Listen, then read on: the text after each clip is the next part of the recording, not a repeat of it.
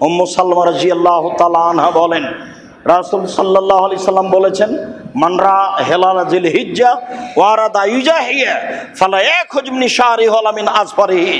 কেউ যদি কুরবানির চন্দ্র দেখে, তাহলে সে নখ চুল কাটতে পাবে না। এটা আল্লাহ রসুলের আদেশ। যারা কুরবানি করবে, তাদের উপরে এই আদেশ, এ কথাই ঠিক। ছেলে মেয়ে যদি না করে, নাও করতে পারে।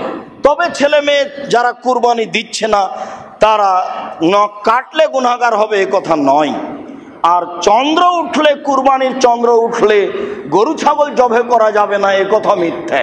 গরু, ছাগল জবে করতে পাবে না, যে হজ করার জন্য এহরাম বেঁধেছে সে। স্বাভাবিক মানুষ স্বাভাবিক মানুষ। দাঁত দেখে, লেজ ভালো দেখে, কান দেখে, চক্ষু দেখে কুরবানি কিনতে হবে। এটা আল্লাহ রাসুলের আদেশ। আল্লাহকে সন্তুষ্ট করার জন্য পশু কিনতে হবে কুরবানির, এ কথাই ঠিক। এরপরে সাত জনে নয়, বরং সাত পরিবারের পক্ষ থেকে একটি পশু কুরবানি করতে হবে, এ কথা নয়। বরং একটি পশু একটি পরিবারের পক্ষ থেকে কুরবানি করতে হবে, এ কথাই ঠিক। অন্তত একটি পরিবারের পক্ষ থেকে একটি পশু কুরবানি করতে হবে, এ কথাই ঠিক। সাতজন আর সাত পরিবার এক নয়। বিষয়টি বিবেচনা করার জন্য বারবার অনুরোধ জানাচ্ছি। একটি পশুতে সাতজন অংশগ্রহণ করতে পারবে না, এ কথা আমরা কোনো দিনই বলিনি। একটি গরুতে সাতজন অংশগ্রহণ করতে পারে একটি উটে জন অংশগ্রহণ করতে পারে। তবে দশ পরিবার অংশগ্রহণ করবে এমন হাদিস আমাদের অবগতিতে আসেনি। যারা খুব জোরালো দাবি জানিয়ে বই পুস্তক লিখেছে, তাদের বইগুলি, তাদের কলমগুলি একাধিক দিন আমরা পড়ে দেখেছি, তাতে আমাদের কাছে স্পষ্ট হয়নি। বরং জোর করে চেষ্টা করা হচ্ছে এটা আমরা বুঝেছি। সরাসরি যেটা প্রমাণ হচ্ছে, সেটাই করলে ভালো হবে। একাধিক হাদিস রয়েছে ব্যক্তি ও তার পরিবারের পক্ষ থেকে অন্তত একটি পশু কুরবানি করতে হবে। সম্মানিত মসজিদের মুসল্লি, কুরবানির গোস্ত তিন ভাগ করতে হবে, এ কথা নয়। তিন ভাগ করলে গুণা হবে, এ কথাও নয়। তবে তিন ভাগ করে এক ভাগ দিয়ে এসেছে, এটা না নেওয়াই ভালো।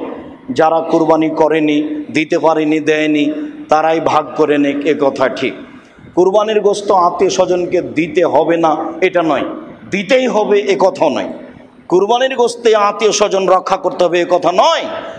এই যে আম হচ্ছে এখন চাপাই নবমজের মানুষ, রাজশাহীর মানুষ, আত্মীয় স্বজনের বাড়ি আম পাঠিয়ে আত্মীয়তা রক্ষা করবে। কুরবানির গোস্ত আত্মীয়র কাছে পাঠাতে হবে, জরুরি, এমনটা নয়। পাঠানো যাবে না, এ কথা নয়। এটা স্বাভাবিক গতিতে রাখতে হবে। সম্মানিত মসজিদের মুসল্লি, আমাদের যে কুরবানি, এই কুরবানি ইব্রাহিম আলাই সালামের কুরবানি। ইব্রাহিম আলাই সালাম থেকে যে কুরবানি চালু হয়েছে সেটাই আমাদের কুরবানি।